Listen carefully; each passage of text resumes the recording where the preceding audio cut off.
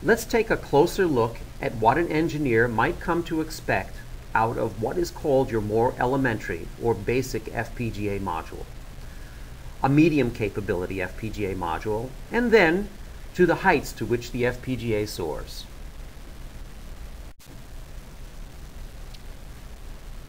The basic FPGA module. These are lower end capability FPGA modules, usually based upon an FPGA such as the Altera Cyclone or the Xilinx Spartan. They will support some combination of your basic digital I.O. types, TTL, RS422, 485, LVDS. They may have some memory support external to the FPGA, but on the FPGA module itself. Perhaps 64K by 16 of SRAM and the required memory interface. Some level of clock management is always a must. Some of these devices will support more than one clock source, PLLs, and some ability to, internally to the FPGA, generate multiple logic clocks. These are usually accomplished by using what is frequently called a DCM, or Digital Clock Manager. And then, for those intense compute or DSP applications, some of the FPGAs at this level will support in-fabric multipliers, up to say 26 by 18, 18, and be capable of supporting DSP IP cores from multiple parties.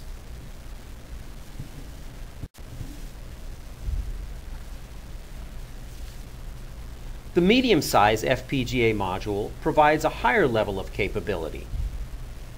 FPGA modules in this category are typically based upon FPGAs of the Xilinx Virtex 4 class. They will support your common higher speed host CPU buses, PMC, PCI.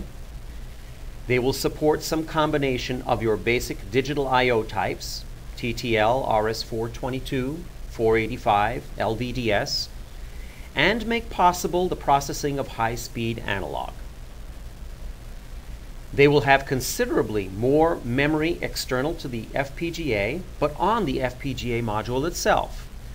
Perhaps 256K by 36, and larger, SRAM for post-processed data, DDR RAM of 64 megabits by 32 for pre-processed data, and high-speed on the FPGA device block RAM up to say maybe 1.7 megabits.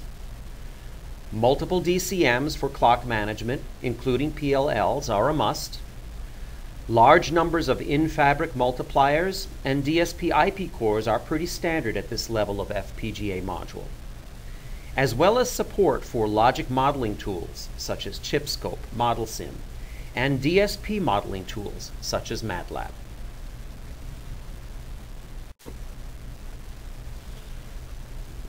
The large size FPGA module provides a very high and ever expanding level of capability FPGA modules in this category are typically based upon FPGAs of the Xilinx Virtex 5 class.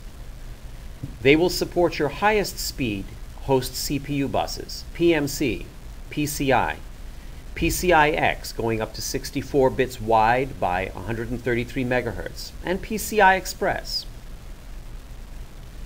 They will support some combination of your basic digital I.O. types, TTL, RS422, 485, LVDS, and make possible the processing of high-speed analog.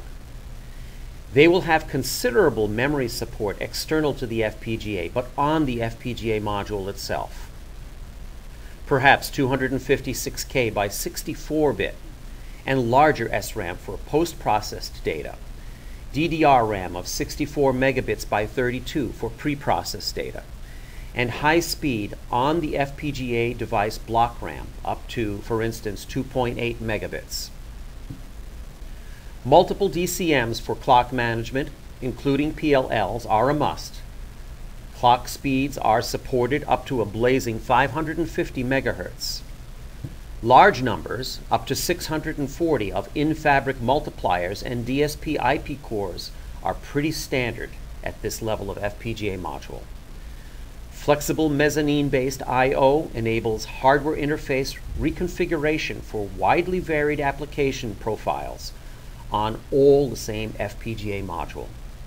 And yes, there is continued support for logic modeling tools such as ChipScope ModelSim and DSP modeling tools, MATLAB.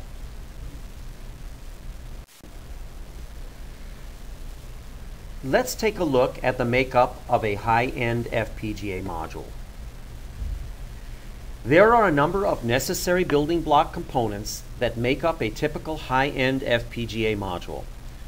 The number of the building blocks and the extent of the building blocks, the size, the capability, the speed, these will vary.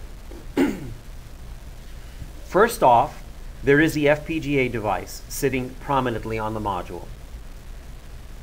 Its interface to the outside world is via its general purpose I.O., which may be routed to the front mezzanine area of the module, to the rear I.O. connector of the module, or to both.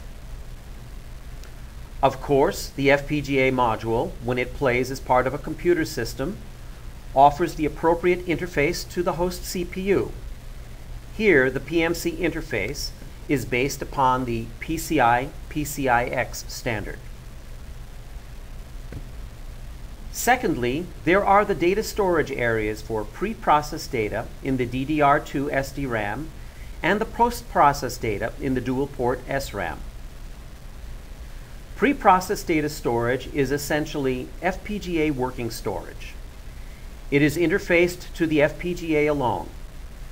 Post-processed data storage is usable as FPGA working storage as well, but has the unique capability to facilitate data transfer between the FPGA and the host CPU via DMA transfer, and vice versa.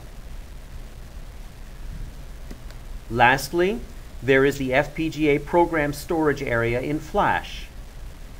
The actual logic that executes in the FPGA can either be loaded directly into the FPGA device over the PCI PCIX bus or stored in the flash. Logic stored in the flash is automatically downloaded into the FPGA upon power-up of the FPGA module, whereas logic loaded directly into the FPGA device over the PCI PCIX bus must be programmatically downloaded to the FPGA device by the host CPU application software prior to use of the FPGA module. Here we have a block diagram of a typical FPGA module. As we noted earlier, general purpose I.O. is accessible from the front mezzanine adapter, the rear PMC I.O. connector, or both. A communications application, for instance, implementing a UART equivalent for protocol conversion would be sampling a serial input stream at some synchronous I.O. clock and capturing the serial bit stream, deserializing, and storing it into a FIFO, i.e. in the SDRAM, by way of the FPGA internal memory controller, and then outputting the reformatted information. A software-defined radio will perhaps sample an analog waveform, extract the carrier with the support of DSP blocks, perform some algorithmic transformations, perhaps using the DSP blocks in conjunction with a soft or hard CPU. The resultant information could be consumed locally or again transferred to FIFO storage for additional processing or for transfer to the host CPU. Host CPU transfer of information would be implemented using DMA methodology with interrupts being configured to signal transfer complete. DMA transfers would, once configured and activated, occur independent of the FPGA activity and be managed completely by the PCIX bus bridge, controlling the pathways between the FPGA device and the host CPU, separated only by the PCI or PCIX bus. Notice that the logic segmentation is accompanied by potentially different clock rates. The Virtex 5 FPGA is capable of supporting up to 12 digital clock managers.